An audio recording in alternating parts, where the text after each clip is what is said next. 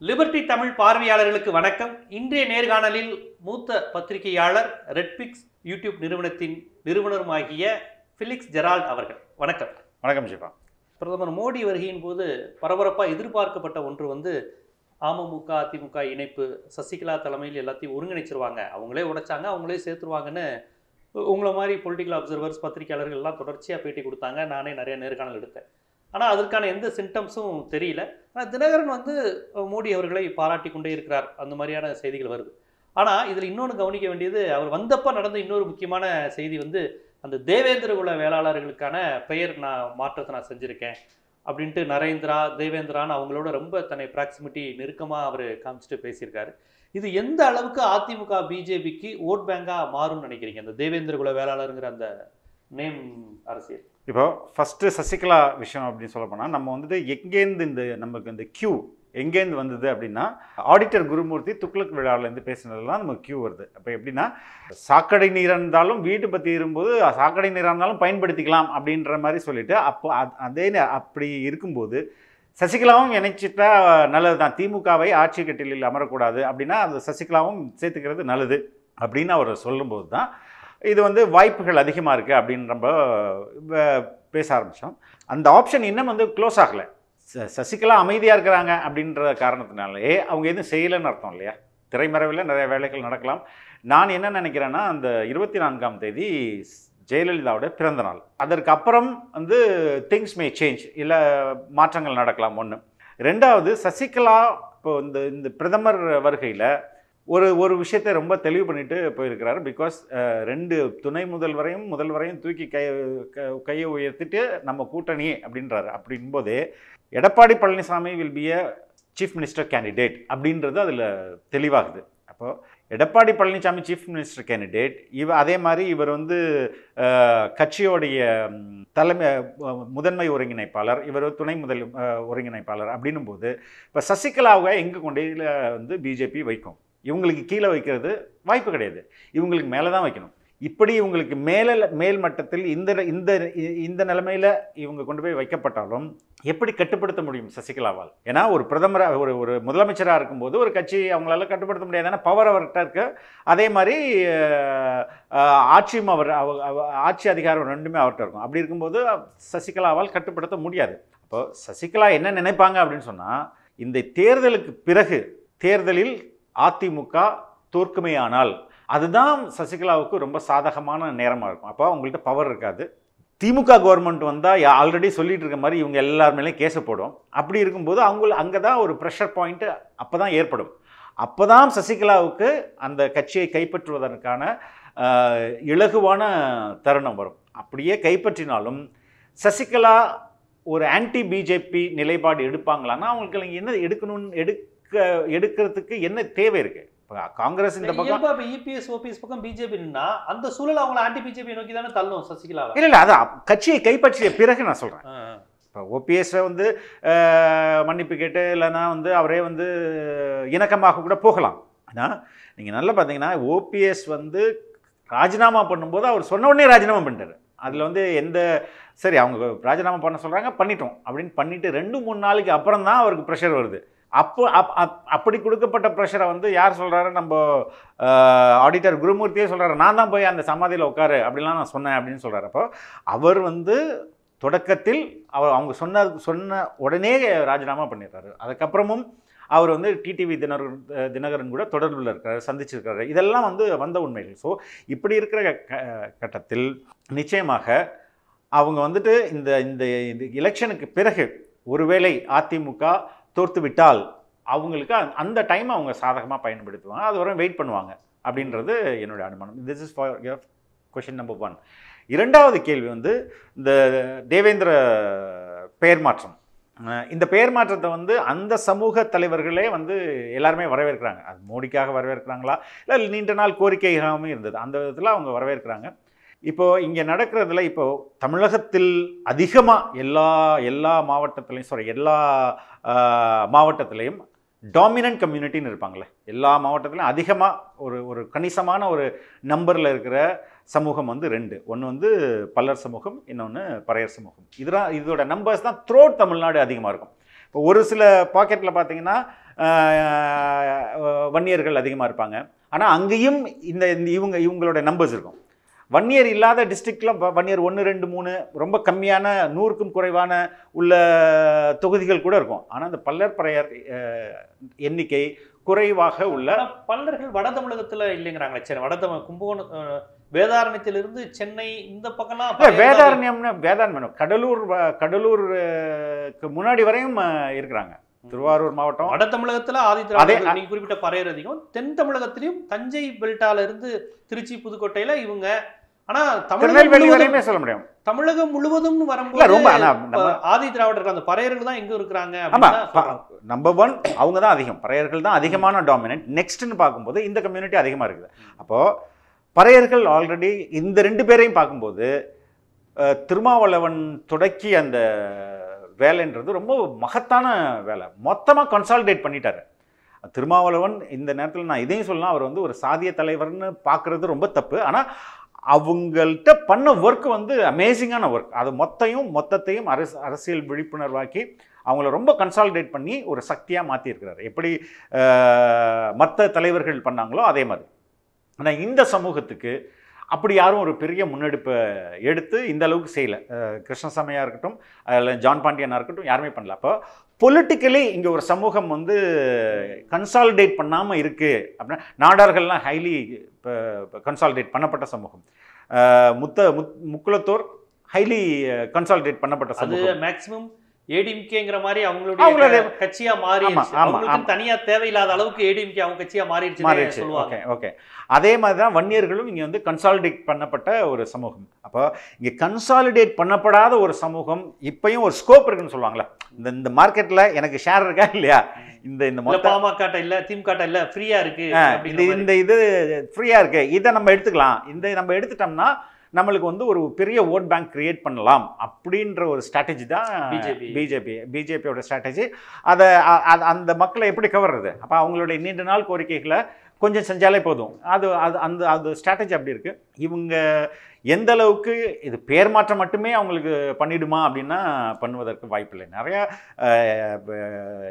பெரும்பாலும் ஏழைகளாக தானே இருக்காங்க. ஸோ இன்னும் அவங்களுக்கு நிறைய செய்ய வேண்டியது இருக்குது அது யார் பண்ண போகிறாங்க எப்படி இந்த தேர்தலில் அது ஒரு பெருசாக ரிஃப்ளெக்ட் ஆகுமா அப்படின்றது ஓட் பேங்க பெருசா கன்சல்டேட் ஆகுமான்னு தெரியல. கன்சாலிடேட் ஆகாது. மேபி அது ஒரு ஒரு ஒரு என்ன சொல்கிறது ஒரு பெரிய ஒரு அந்த மக்கள் மகி மத்தியில் ஒரு மகிழ்ச்சியை ஏற்படுத்தியிருக்கோம். மகிழ்ச்சி. இந்த நீ- நீங்க சொன்ன மாதிரி இப்ப ஆதி திராவிடர்களை வந்து பெரிய லெவல்ல அவரு ஒரு உள்ளடக்கி ஒரு அரசியல் மயம்பட்டு ஒரு இதாக்கிட்டாரு. வன்னியர்களுக்கு ஒரு கட்சி இருக்கு. முக்குளத்தூர் ஆல்ரெடி இத கவுண்டர்கள் அதிமுக இந்த மாதிரியாக எல்லாரும் மாறி இருக்கிறாங்க. இவங்களுக்கு அப்படின்னு ஒரு பிளாட்ஃபார்ம் இல்லாம இருக்கு. அதை பிஜேபி பிளான் பண்ணுச்சுன்னு.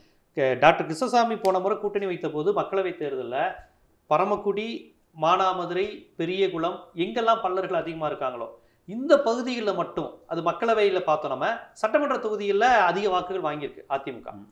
டாக்டர் கிருஷ்ணசாமியோட ஏன்னா அப்போ வந்து அந்த அவங்க அப்பயே பேச ஆரம்பிச்சிட்டாங்க. இந்த ரெண்டு திராவிட கட்சிகள் எங்களை ஏமாத்திருச்சு தேவேந்திர குல வேளாளர் பேர் பெருமை.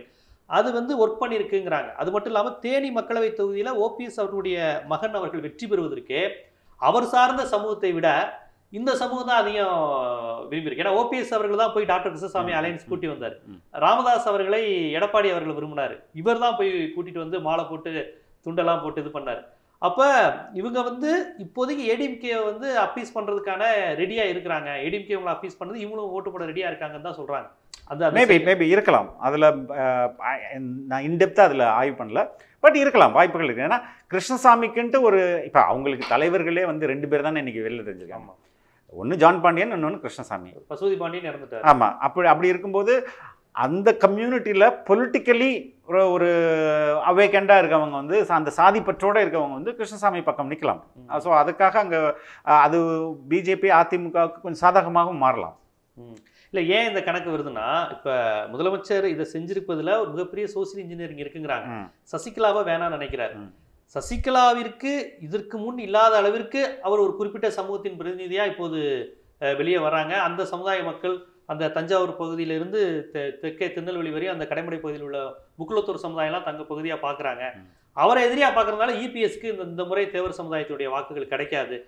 அப்படின்னு பார்க்கறதுனால அதே பெல்ட்டில் அடர்த்தியா இருக்கக்கூடிய இந்த தேவேந்திரர்களை அவர் கவர் பண்ண முயற்சிக்கிறாருங்கிறாங்க. அந்த ஸ்ட்ராட்டஜி தான் வெற்றி பெறுமா இல்லை எப்போதுமே இப்படி நம்ம பார்க்கலாமே சரி இந்த தேர்தல் சசிகலா ஐ மீன் ஜெயலலிதா கருணாநிதி இல்லாத ஒரு தேர்தல். பல ஆண்டுகளாக திமுகவுக்கு ஓட்டு போட்டுக்கிட்டே ஒருத்தங்க வந்திருப்பாங்களே அவங்க திமுகவை தான் மறுபடியும் ஓட்டு போட போகிறாங்க வேற யாருக்கும் புதுசாக நாளைக்கு போய் மாற போகிறதில்ல அந்த மாற்றம் அப்படியே நீங்கள் தான் ரொம்ப நாள் எடுக்கும்.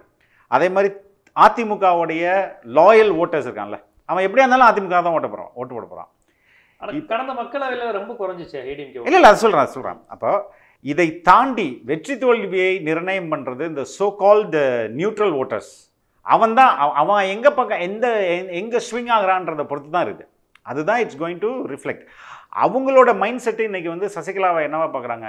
சசிகலாவை பார்க்கும்போது ஓகேம்மா அந்த அந்த அம்மா வந்து பாவம் இவர் வந்து துரோகம் செய்துட்டார். அப்படின்ற ஒரு மனநிலைக்கு தான் ஆர்டினரி பீப்புள் இருக்காங்க.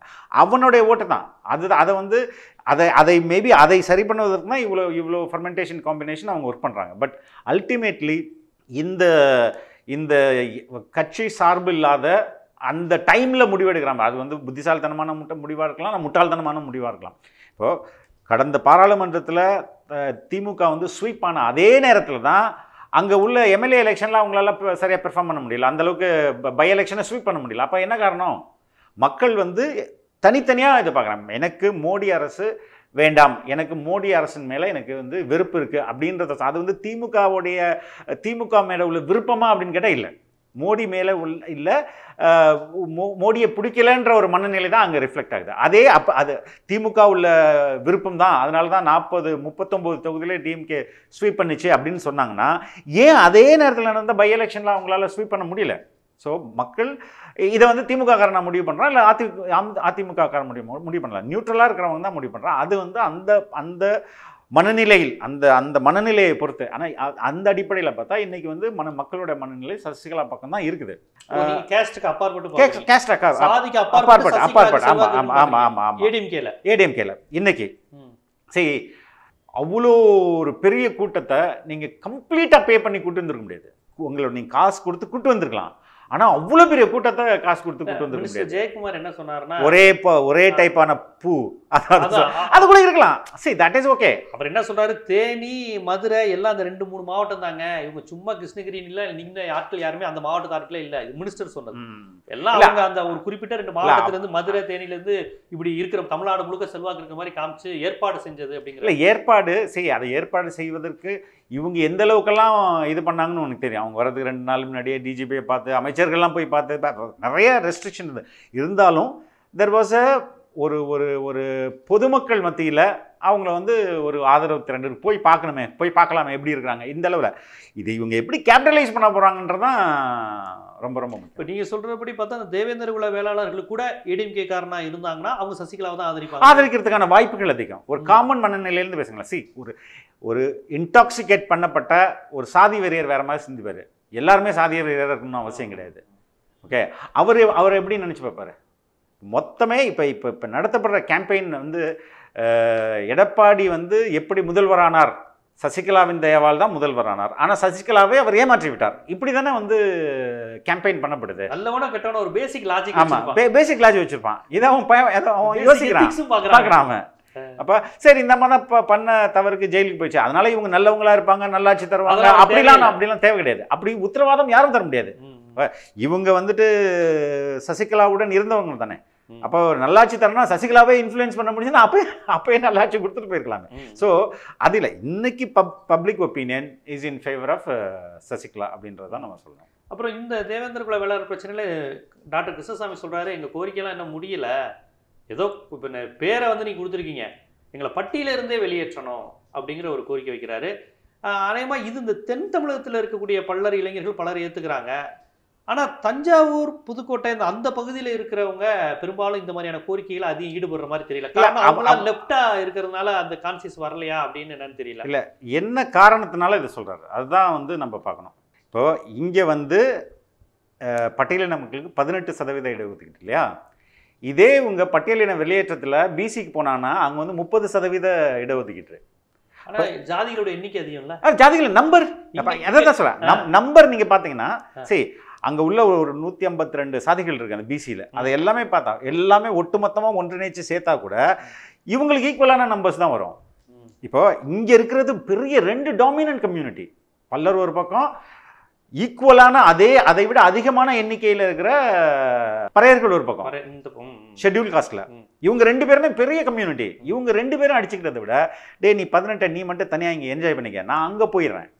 எங்கள் முப்பதுக்கு போயிடுறேன். அப்படி அதுதான் அவருடைய அந்த இந்த மொத்த பட்டியலின வெளியேற்றத்துக்குமான அடிப்படை ஃபார்முலா அதை ஏன் இவங்க புரிஞ்சுக்க மாட்டேங்கிறாங்கன்னு எனக்கு தெரியல. என்னை பொறுத்தவரை பட்டியலத்தின வெளியேற்று நீ ரொம்ப சிம்பிள் பதினெட்டில் உட்காந்து சண்டை போட்டுக்கிறது கஷ்டம் ஈஸியா இல்லை வந்து முப்பதில் உட்காந்து பிரிச்சுக்கிறது ஈஸியாக இல்லை இல்ல. அதுதான் சொல்கிறேன் இப்போ வந்து அந்த இளைஞர்களுக்கு பதினெட்டு தானே எளிது. இன்னும் சொல்ல போனீங்கன்னா அந்த நீங்கள் சொல்லக்கூடிய தேவேந்திரர் ஆதி திராவிடர் அருந்ததியரில் இந்த சமூகம் தான் லேண்ட் உள்ள சமூகம். கொஞ்சம் நிலமெல்லாம் வச்சு ஒப்பீட்டளவுல அரசு பணிகள் அதிகமா இருக்க இருந்தவங்க அதிகமா இருக்கிற ஒரு சமூகம் கூட. இவங்களுக்கு நிலம் கிடையாது மற்ற இரண்டு சமூகங்களுக்கும். அந்த வகையில இவங்க கொஞ்சம் அந்த மூணுலயும் கொஞ்சம் டாமினேட்டா தன்னை காமிச்சுக்கக்கூடியவங்க கொஞ்சம் அந்த மாதிரி இருக்கக்கூடியவங்களும் கூட. அந்த வகையில பார்த்தா இவங்க தான் அதை அதிகமா அனுபவிக்கிறாங்கங்கிற குற்றச்சாட்டு நீங்க சொல்ற பறையர் சமூகத்திலயும் அருந்தைய சமூகத்திலயும் உண்டு. அப்ப எல்லாத்தையும் இவங்க தான்ப்பா அனுபவிச்சுக்கிறாங்க எஸ்சி எஸ்டி யூனியன் ஊழியர் சங்கம் எல்லாத்துலயும் இவங்க தான்ப்பா இருக்கிறாங்க. அதுவும் சவுத் சைட்லாம் இவங்க தான் டாமினேட் பண்றாங்கங்கிற விமர்சனமும் இருக்கு. நீங்க சொல்ற பிசியில போனீங்கன்னா இந்த அளவுக்கு இவங்க எப்படி போட்டி போட முடியும்? இல்லை அங்கே நம்பர் கம்மின்னு நான் நம்புறேன். அங்கே வந்து அதிகமே. காஸ்ட் வைஸ் இருக்குது. நம்பர் ஆஃப் காஸ்ட் இருக்கு. அந்த ம். காஸ்டோட பாப்புலேஷன் பார்க்கணும்ல? நூத்தி ஐம்பத்தி ரெண்டு காஸ்ட் இருக்குன்னா அந்த இப்ப- எண்ணிக்கையில அந்த நம் சாதிகள் அதிகமா இருக்கலாம். அந்த சாதிய மக்களோட பேரோட கம்மின்றேன். ஒப்பிடும்போது அந்த 150 ஆமா, குறைவு ஆமா. அந்த அளவு தான் அதனால தான் அது அது அதுதான் இதுக்கு உள்ள பின்னாடி இருக்க இப்ப இவங்கள வந்து இப்ப நீங்க வந்து எண்ணிக்கை பெரும்பான்மைங்கிறீங்க. எண்ணிக்கை பெரும்பான்மை மட்டும் சமூக அங்கீகாரத்தை தந்துடாது த- தமிழ்நாட்டுல வந்து பார்ப்பனர்கள் எண்ணிக்கையில சிறுபான்மை ஆமா, தான் ஆனா ஆமா. அதிகாரத்துல அவங்க இருக்காங்க. நீங்க சொல்லக்கூடிய பறையரும் பல்லரும் எண்ணிக்கையில பெரும்பான்மையா இருக்கலாம். ஆனா அதிகார மையம் வரும்போது அவங்க அந்த இடத்துல எந்த இடத்துல இருக்காங்க. இப்ப அந்த ஒப்பீடு பிசிஎஸ்சிக்குமே உண்டு. இப்ப பிசி என்ன இருந்தாலும் சமுதாயத்துல அதிகாரம் உள்ளவங்களா இருக்கிறாங்க.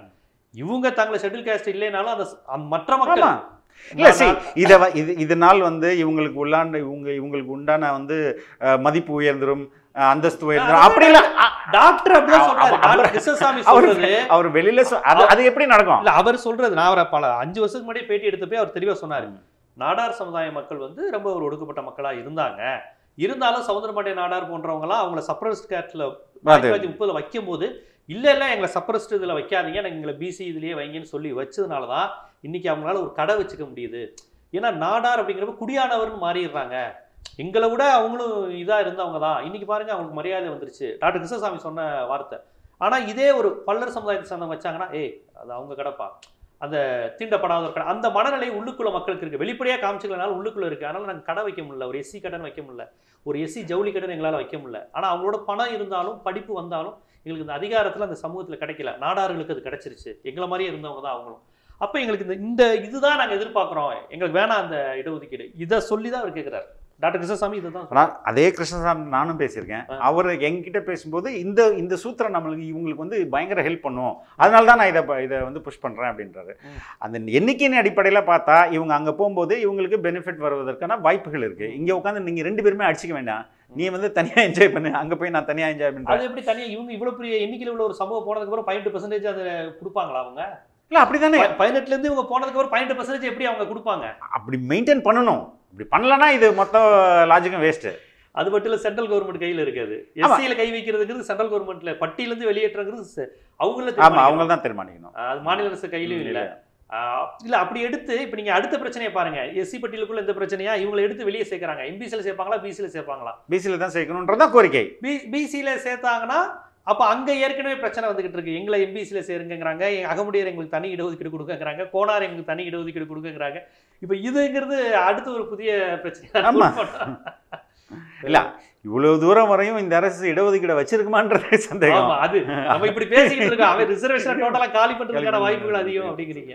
யா. கண்டிப்பா இது ஒரு முக்கியமான பிரச்சனை தான். ஆனா இருந்தாலும் நீங்க தேர்தல் அரசியல்ல மக்கள் ரொம்ப வெறித்தனமா கேஸ்ட பாக்குறது இல்ல தமிழ்நாட்டு மக்கள் அப்படிங்கிற ஒரு பார்வை இதுல நீங்க முன் வச்சிருக்கீங்க? இல்ல நான் வந்து நான் வந்து நான் என்ன சொல்லணும்னா ரொம்ப ரொம்ப சிம்பிளா எல்லாருமே அப்படி இருக்கிறது இல்ல.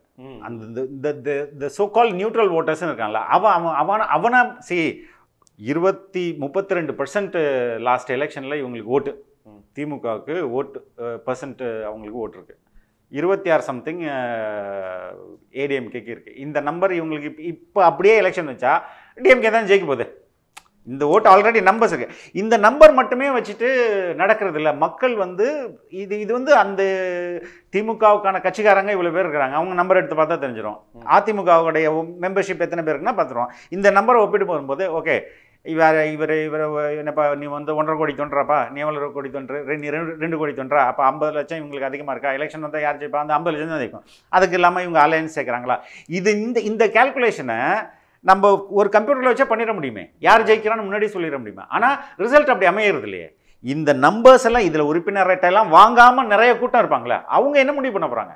அதுதானே it it it factors so அதுதானே ஃபேக்டர் இந்த கோரிக்கையை பொறுத்தவரையும் நீங்க டாக்டர் கிருஷ்ணசாமி கோரிக்கை அந்த அதுக்கு என்ன லாஜிக்னு ரெண்டு வித லாஜிக் நம்ம அலசிட்டோம். ம். ஒன்னு மெஜாரிட்டி கம்யூனிட்டியா இருக்கு. இன்னொன்னு ஒரு சுயமரியாதை கிடைக்குது. சமூக அங்கீகாரம் அப்படி பார்வைன்னு ரெண்டு விஷயங்களை அலசிட்டீங்க.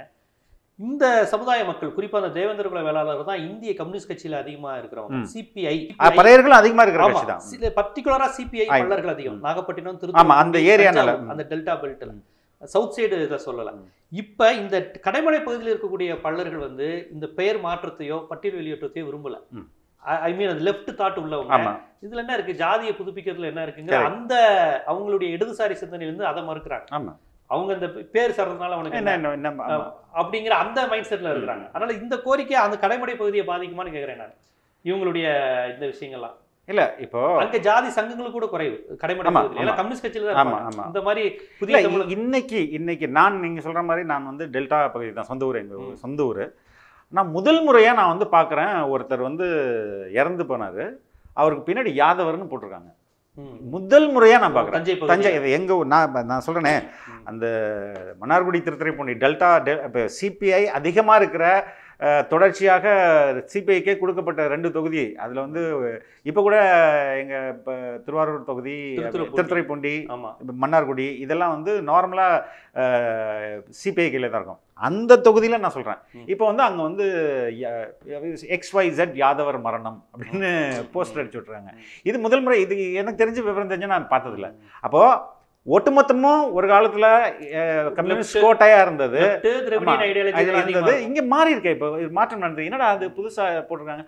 ஆமாம் இப்போ தான் போட ஆரம்பிச்சிருக்காங்க. ஆமா இப்பதான் இது மாதிரிலாம் போட ஆரம்பிக்கிறாங்க அப்படின்னு அவங்க சொல்றாங்க. எனக்கு ரொம்ப ஷாக்கிங் ஆச்சு ஏன்னா நம்ம ஊர்ல ரொம்ப அந்த சாதி பிளவுகள் வந்து ரொம்பலாம் விசிபிளா இருக்காது. அந்த அங்கேயே இப்படி ஒரு மாற்றம் நடந்துட்டு இருக்குது. ஸோ இவன் எல்லாரும் மாறும்போது இவன் இவனும் அடுத்தது அதுதானே செய்வான். கண்டிப்பா கண்டிப்பா. கண்டிப்பா இந்த- இன்னொன்று இன்னொன்று அங்கே அப்சர்வேஷன் என்னன்னா அங்கே இருக்கிற இப்போ இப்போ நான் போகும்போது ஒரு சாலை மறியல் நடந்தது. கம்யூனிஸ்ட் தான் பண்ணாங்க. ஏன்னா இங்கே நிவாரணம். இல்ல இல்ல அது இப்போ வந்த வெள்ளத்துக்கு. நிவர் புயல். இப்போ இப்போ வந்து டெல்டால பயங்கர வெள்ளம் அது நிவாரணம் வழங்குறதுல தாமதம். ரெண்டாவது கம்மி அப்படின்னு சொல்லிட்டு நடத்தப்படுது. கம்யூனிஸ்ட் இதுகள் தான் வந்து அவங்களே வந்து அந்த போராட்டத்தை நடத்துனாங்க. எந்த கட்சி மேலிடாமலாம் பார்த்துனாம ஆனால் அங்கே வந்து அந்த கம்யூனிஸ்ட்ன்ற சிவப்பு துண்டு அந்த அதுக்கு அவங்களுக்குன்னு ஒரு அடையாளம் இருக்கும். இப்போ சிவப்பு கலர் பெல்ட்டு இது மாதிரிலாம் போட்டிருப்பாங்க. அது எல்லாமே வயதானவர்களாக இருக்கிறாங்க. அந்த கூட்டத்தில் யங்ஸ்டர்ஸ் இடதுசாரி யங்ஸ்டர்ஸை நம்மளால பார்க்க முடியல. ஸோ இது இது கம்யூனிஸ்ட் கட்சியோட பிரச்சனை தான். அவங்க தான் வந்து தன்னை வழி வழி நடத்துக்கலாம் அந்த இளைஞர்களை இப்போ எல்லாரும் பிரிச்சுட்டு போயிட்டு இருக்கான். அது அது அதோட விளைவு தான் யாதவர் அப்படின்னு போட்டுக்கிறதெல்லாம் அதோட தொடர்ச்சியா தான் இதை பார்க்கணும். தேவேந்திர விஷயம் பார்க்கணும். கண்டிப்பா இந்த பிரச்சனை ஒரு சாதிய வட்டார பிரச்சனையிலிருந்து ஒரு தேசிய கட்சி கையில எடுத்திருக்கு. இதை எப்படி அவங்க பயன்படுத்திக்குவாங்க? அந்த இளைஞர்கள் இதை எப்படி பார்ப்பாங்க? என்பதெல்லாம் குறித்து ரொம்ப நிச்சயமா எப்படி பயன்படுத்தப்படுவாங்கன்னா இப்போ நீ வந்து ஆண்ட பரம்பரை. நீ வந்து முக்கியமான இது அப்படின்னா அவனை வந்து இந்து வெறியேற்றுவாங்க மதத்தின் முக்கிய அங்கம். அங்கம் அப்படின்னு வெறியேற்றி அந்த அந்த அதை வந்து வாக்குகளா அறுவடை பண்றதுக்கு முயற்சிப்பாங்க. இதுதானே அவங்களோட ஃபார்முலா. கண்டிப்பா ஒரு முக்கியமான நிகழ்வு திருப்பம் இது தேர்தல் அரசியல் எப்படி பயன்படும் இது சமூக பண்பாட்டு தளத்தில் எப்படி பார்க்கணும் எப்படியெல்லாம் இருந்திருக்கு என்பதை ரொம்ப வரலாற்று பூர்வமாய் சொன்னீங்க. மிக்க நன்றி. தேங்க்யூ